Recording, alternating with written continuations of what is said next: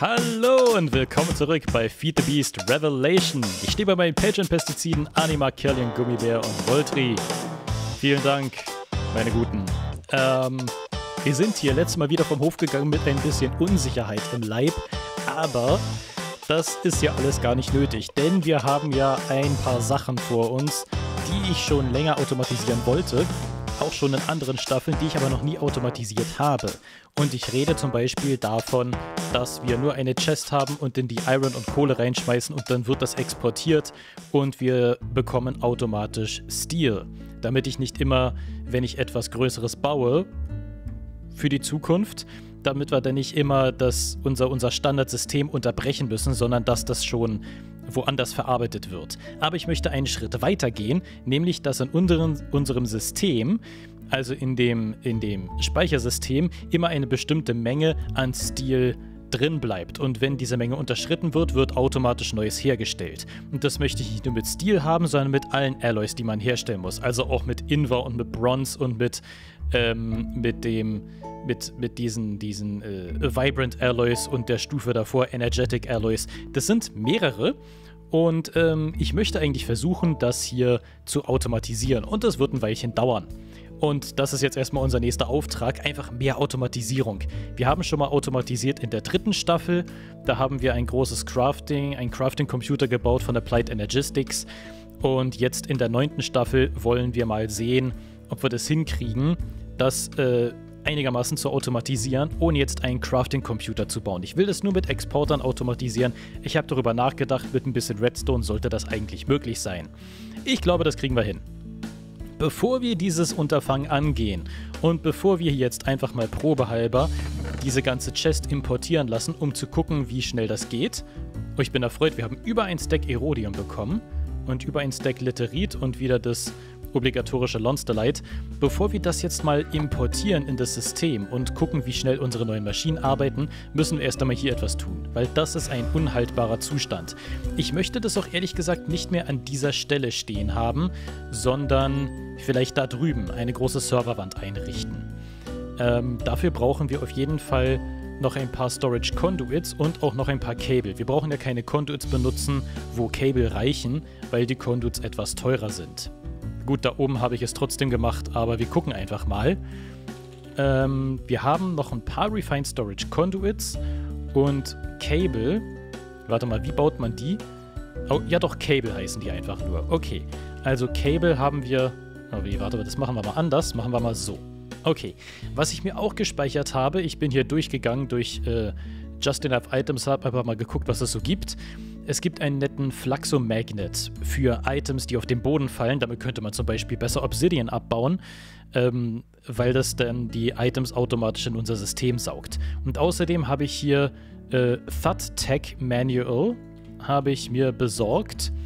Das ist ähm, nämlich meiner Meinung nach, genau, das ist ein Elevator ein Multiblock-Elevator. Ich weiß nicht, wie der funktioniert. Ich weiß nicht, ob das überhaupt das ist, was ich mir vorstelle. Ich stelle mir nämlich vor, dass das nicht so ein Teleportierer-Elevator ist, sondern so ein fahrender Elevator. Was natürlich alles sehr viel langsamer macht, aber ich fände es mal interessant, den zu bauen. Da gibt es jedenfalls eine zwölfseitige Anleitung dazu, wie man den einrichten muss, damit er funktioniert. Und das finde ich interessant.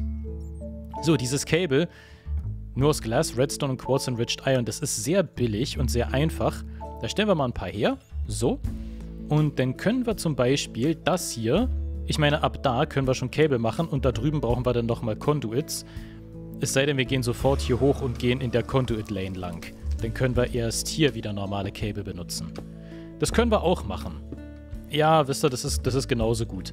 Und dann ja, das ist, das ist bis unter die Decke. Dann können wir hier auch 1, 2, 3, 4, vielleicht 5 Blöcke hohe Server-Racks machen. Dann geht es bis unter die Decke. Genau, das ist okay und da fängt unser Server-Rack an. Da haben wir jetzt 8 Stück und ich würde jetzt 20 vorbereiten. Dann haben wir erstmal 4 Spalten mit je 5 Racks. Also bräuchten wir noch 12 weitere, dann haben wir erst einmal unser System verdoppelt von der Größe. Das wäre schon nicht schlecht. Ähm, wir brauchen jetzt Erstmal können wir mit dem Kabel hier nach oben gehen. Das wird sich dann da verbinden mit dem kommenden Conduit. Jetzt brauchen wir mehr Conduits tatsächlich. Die habe ich ja jetzt ähm, irgendwie nicht, nicht äh, nicht wahr? Ja, nein, habe ich nicht. Ähm, dann gucken wir mal, dass wir hier ein paar Conduits bauen. Die gehen ja auch aus den Cablen, dann brauchen wir keine Quartz Enriched Iron. Das erscheint mir aber ein bisschen zu teuer irgendwie. Ich würde gerne beides behalten. Deshalb bauen wir ein paar Improved Processor. Das war... Oh, müssen wir erstmal gar nicht schmelzen, sondern erstmal nur so. Machen wir mal von mir aus 8. Die werden erstmal da unten geschmolzen. Und dann haben wir ein paar Improved Processor. Und dann können wir noch ein paar Conduits bauen. Ich, ich werde jetzt absolut nicht so viel brauchen, wie ich jetzt hier herstelle. Aber das ist schon in Ordnung. Machen wir hier so. so das, das ist mehr als genug. Absolut mehr als genug. Dann gehen wir nämlich hier da nach oben und hier rüber. Und dann können wir unser, unsere, ähm, sehr schön. Dann können wir hier unsere, unsere äh, Disk Drives nämlich schon abbauen und da drüben wieder aufbauen.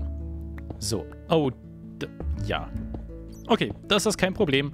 Kein Problem, wir kommen damit klar. Solange wie ich auch nur ein Disk Drive... Ich habe alle sieben auf. Ah, natürlich, die stapeln sich. Die, aber die, die Storage Disks nicht. Okay, das hängt natürlich damit zusammen, dass die ein Inventar haben und sich deshalb nicht stapeln können. Das macht eigentlich auch Sinn. So, da können wir erst einmal das hinstellen. So, das sieht jetzt deutlich weniger aus als vorher. Aber das ist, glaube ich, eine gute Methode, wenn wir das so machen. Natürlich kommt jetzt alles kreuz und quer durcheinander.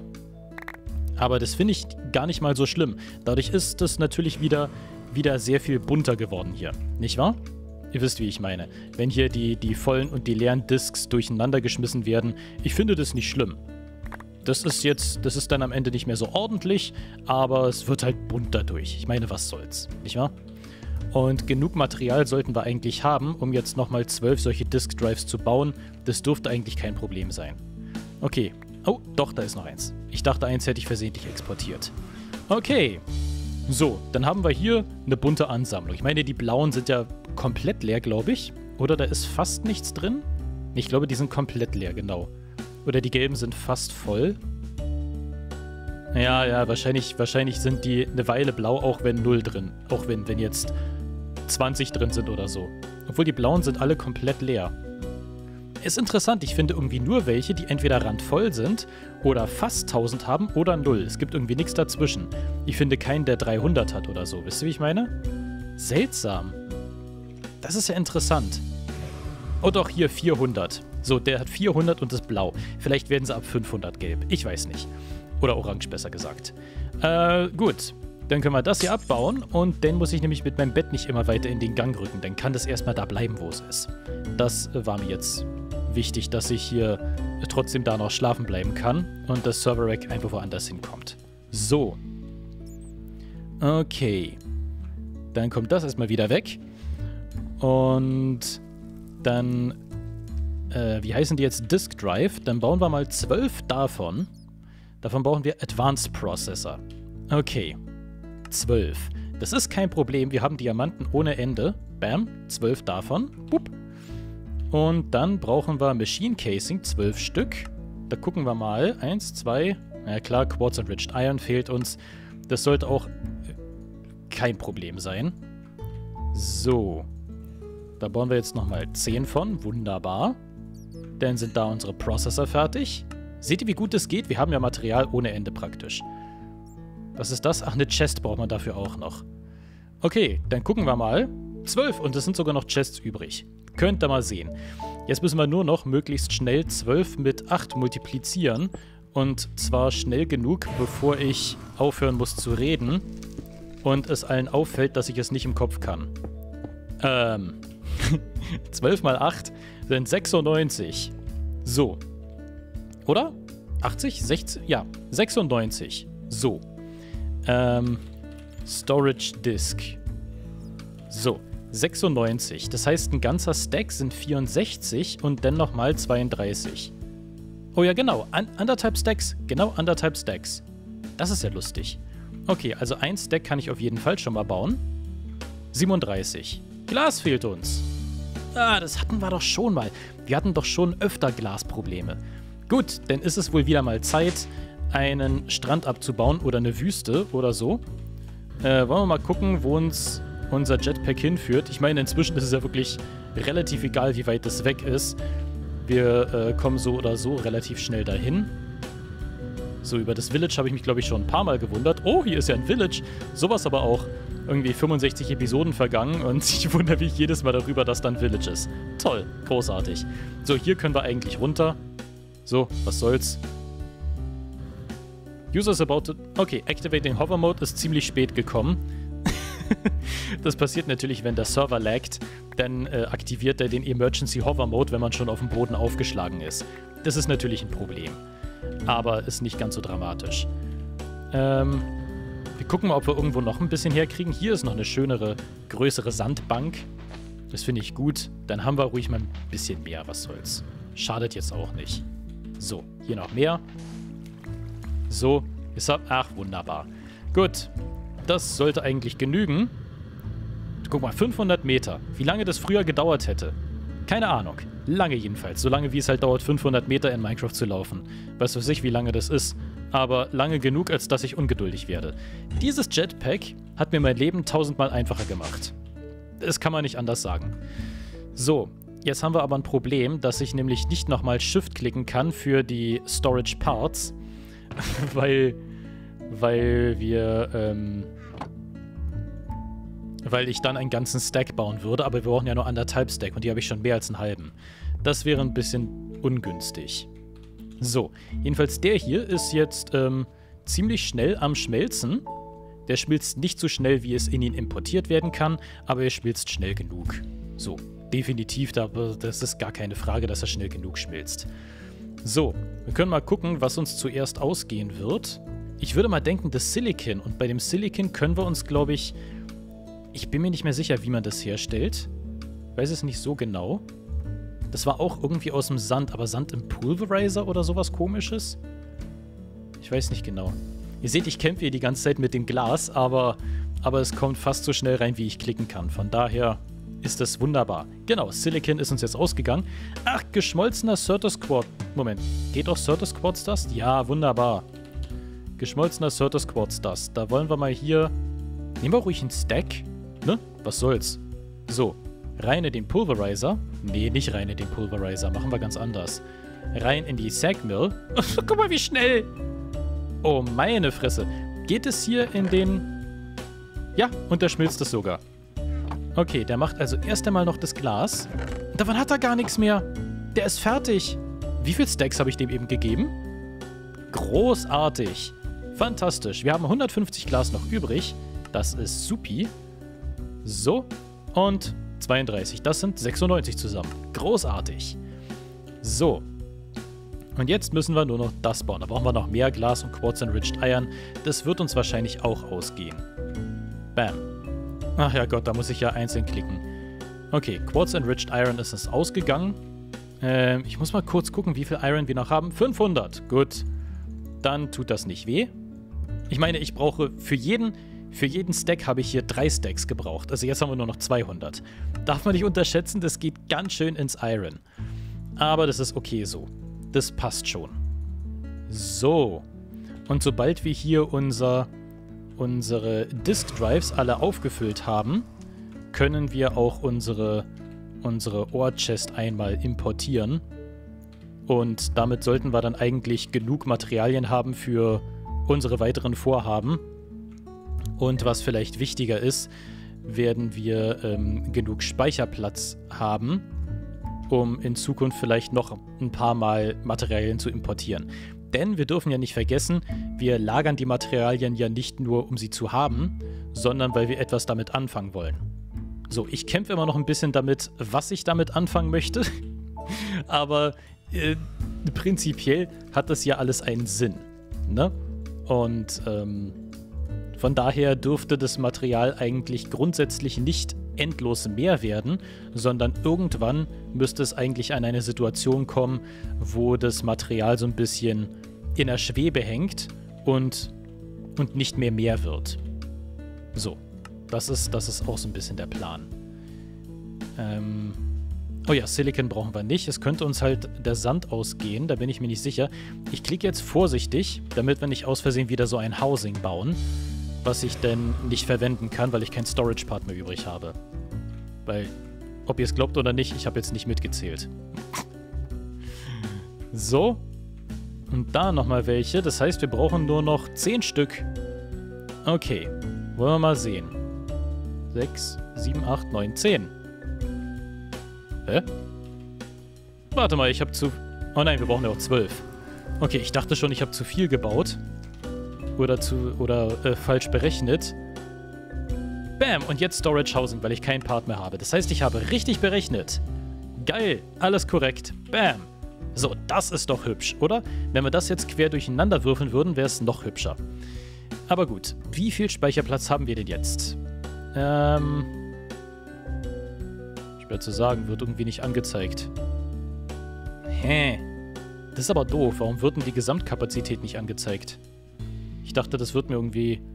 Naja gut, wir haben wir haben 8000 mal 20. Ähm, 8 mal 20 sind 160, also 160.000 Blöcke passen rein. Und wir haben ja gerade mal 100.000 oder so. Äh, nee, Quatsch. 50.000. Ach, Mann, was weiß ich. Kann sich jeder selber ausrechnen. Ist auch egal, ist nicht ganz so wichtig. Jetzt können wir das muss ich, das will ich nicht die ganze Zeit im Inventar haben, aber wenn ich es ins System packe, vergesse ich es. Wir brauchen mal kurz ein Item Frame, damit ich mir das irgendwo an die Wand hängen kann. Ähm, damit ich es nicht vergesse, aber es trotzdem aus dem Inventar weg ist. So. Item Frame, bam. Und dann packen wir mal das Buch da rein. So. Hoffentlich vergesse ich es dann nicht. Ähm, jetzt können wir hier mal die Chest importieren lassen. Indem wir hier den Extract einfach auf Always Active packen. Und jetzt wird unser System geflutet mit Materialien. Wahrscheinlich sehr viel langsamer, als die Maschinen das verarbeiten können. Ja, der Export ist einfach nicht sonderlich schnell. Obwohl, es ist, es ist in einem ziemlich guten Rhythmus, muss man doch sagen. Ich bin ja, ich bin ja doch überrascht. Also die Maschinen sind jetzt nicht so viel schneller als der Import, wie ich dachte. Von daher, das haut ziemlich gut hin. Die halten sich ziemlich die Waage, sonst hätte ich da jetzt erst noch ein paar, ein paar ähm, Upgrades reingemacht in das Item Conduit, aber es funktioniert ja ganz gut. So, der bekommt auch kein Cobblestone mehr, das hat er nicht geschmolzen. Das ist in Ordnung. Wir warten jetzt einfach mal ab, wie das läuft. So, die Materialien werden importiert. Wir müssen natürlich ein bisschen aufpassen, ähm, dass die Materialien zwar importiert werden, aber wir sehen, hier kam schon wieder ein Resonating Ohr von dem, von dem Void Ore Miner rein. Wir müssen natürlich dran denken, diesen Import dann wieder auszuschalten, ansonsten importiert die die ganze Zeit, während wir hier online sind. Obwohl von der Sache ist es egal. Ich muss nur, ich darf nur nicht vergessen, den Import auszuschalten, wenn ich wieder offline gehe. Das werde ich vergessen. Deshalb muss unbedingt der Import wieder ausgeschaltet werden, bevor wir hier weitermachen mit dem, mit dem täglichen, mit dem täglichen Wahnsinn. So. Die Smeltery hat noch gar nichts zu tun irgendwie, weil der hier ständig Sachen herstellt, die jetzt, die jetzt keine, keine, ähm, die keine Metalle erzeugen praktisch. Resonant Endstone, den will ich auch noch exportieren. Das möchte ich auch noch automatisieren. So, warum sollte ich das, ähm, warum sollte ich das manuell machen? So, hier ist leider das Glax. Das finde ich ein bisschen doof. Ähm, ich hätte gerne, dass der... Ach, das Magma Crucible braucht das, genau. Moment, der Tank hier von... Hm, ich glaube nicht, dass wir das nochmal brauchen. So, ansonsten wissen wir, wie es geht und da ist nicht mehr viel drin und der Tank behält sogar seinen Inhalt. Nein, tut er nicht. Fragile Pink Slime Shard. Oh, cool. Oh, cool. Das ist ja cool. das ist ja sehr cool. Okay, das gefällt mir außerordentlich gut. Dann bauen wir das hier noch ab. Das brauchen wir jetzt erstmal nicht. Und dann kann hier nämlich noch ein Exporter ran. Ähm, und dann brauchen wir hier die ganzen Conduits vom System. Seht ihr mal, es war doch nicht umsonst. Also, haben wir dann noch einen Exporter? Ja, tatsächlich. Ich weiß nicht woher, aber gut, wir haben einen. So. Der Exporter, der soll ähm, die Resonant Clef Rate exportieren. So, dann bekommen wir nämlich immer schön Ender Pearls rein. So, der kommt da ran. Der soll das exportieren und der bekommt natürlich noch links seinen Input. So, und jetzt müssen wir das alles nur noch miteinander verbinden. Dann können wir da immer schön automatisch Ender Pearls reinholen, von denen wir inzwischen 90 haben. Gut, das ist jetzt nicht so viel, aber Aus vier Resonant Clef Rate bekommen wir eine Ender Pearl, also bekommen wir hier nochmal. Ähm. Warum muss ich denn ständig rechnen heute? Also bekommen wir hier nochmal 60 raus oder so. Okay. Dann brauchen wir mal die Cable. Ähm, und die Conduits. Oh wie, das wird gar nicht reichen. Ah, das gibt's ja gar nicht. Okay, wir müssen nämlich hier in dieser Lane müssen wir mit den Conduits lang gehen. Damit unser System, unser Computersystem da hinten... Das funktioniert hier? Ja, es sieht aber seltsam aus. Damit unser System da hinten den, mit dem Exporter etwas anfangen kann. So. Mann, warum verbindet sich denn das mit allem? Das ist ganz schön, ganz schön penetrant hier, wa? Will sich unbedingt mit allem verbinden. So, das müssen wir dem erstmal kurz austreiben. Ähm, da wollen wir nicht enablen, nein. Und dann wollen wir das hier auch nicht enablen. Und, äh, und die beiden auch nicht. Ich meine, was, was sollen die denn damit? So, die haben damit ja gar nichts zu schaffen. So, das kommt ausgeschaltet. Und das kommt ausgeschaltet. So. Okay. Dann müssen wir hiervon auf jeden Fall noch mehr bauen. Das reicht noch nicht. Mann, cool. Okay, es ist cool, wenn man vorsorgt und ein paar Sachen einfach mal da sind. Vielleicht sollten wir hier gleich nach oben gehen. Oh, das kann ruhig da bleiben. Das ist egal. Wir haben hier sowieso mehrere Lanes, die ineinander äh, laufen und sich da verzweigen. Da ist es eigentlich nicht so dramatisch, wenn wir hier jetzt einen anderen Weg eingehen als sonst. Das macht keinen Unterschied. So. Da gehen wir rein und ich wollte eigentlich noch dahin. Jawohl, sehr schön. Und jetzt seht ihr, dass das Creative Fliegen ähm, oder der perfekte Hover-Mode hier einen riesigen Unterschied macht und der sehr viel leichter macht, das ganze Kabel zu verlegen. So. Und dann können wir hier mit normalem Kabel runtergehen, weil das äh, billiger ist. Und wenn es nötig ist, können wir das dann mit dem Conduit ersetzen. Aber für den Fall ist es nicht nötig. So, und schon hat er sein Resonant Clef Rate und fängt ja an zu schmelzen. Und der bekommt es dann hier exportiert und äh, schiebt es dann vollautomatisch, wie wir es eingerichtet haben, hier hinten in den Seared Tank und der gibt uns dann die Ender Pearls. So, super. Dann ist das auch automatisiert.